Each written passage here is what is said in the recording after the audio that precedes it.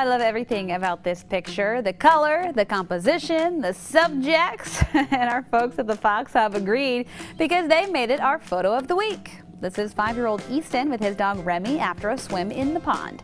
For winning, Ellie Spitzley of St. John's will receive a free enlargement of her photo from the camera shop. If you'd like to be our next big winner, send an email to the address you see on your screen.